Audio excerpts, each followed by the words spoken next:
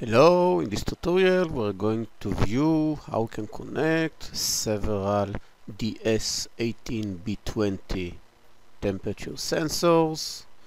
They are all connected in parallel. Here's the readout. For sensors, by the way, on a single bus you can connect up to 8 sensors all you need is a single resistor.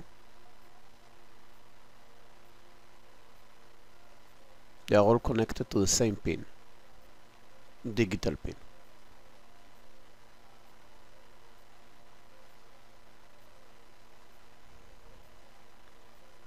As you can see the temperature of each sensor is changing. It is warming up when I hold it by the sensor itself.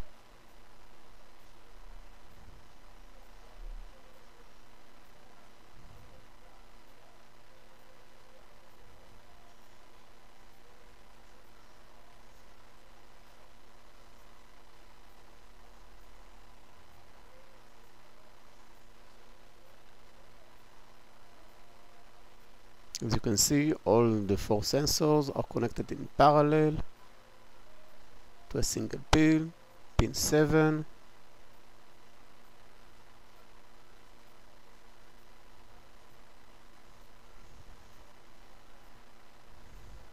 The code, by the way, is the one that comes with the library in the examples after I did to it a few modifications.